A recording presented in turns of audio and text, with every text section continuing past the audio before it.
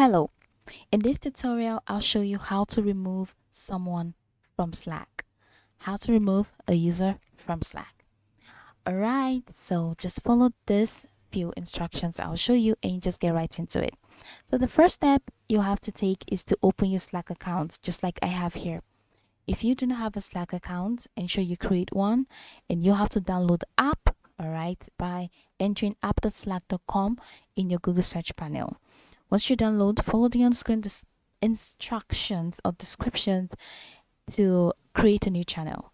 So once you hit that create a new channel tab, follow what's there and create a new so once you create a new create a new channel so once you create a new channel it's going to take you to this page where your entire channel is organized so right here this is my channel advertising and campaign. That's what i named my channel. If you want to create a new channel of course you can definitely create one.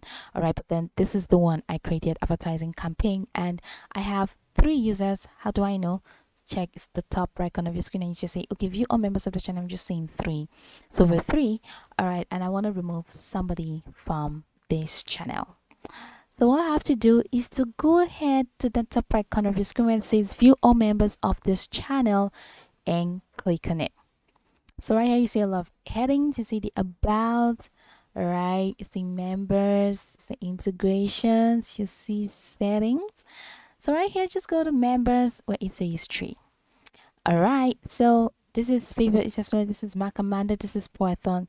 Alright, since I am the host, you won't see the uh, remove option by the side because I created this channel. But here you can see the remove remove icon. All right so this is python and i want to remove python from this channel. So just click remove and they'll still be able to rejoin or be added to the conversation. That's if you want to.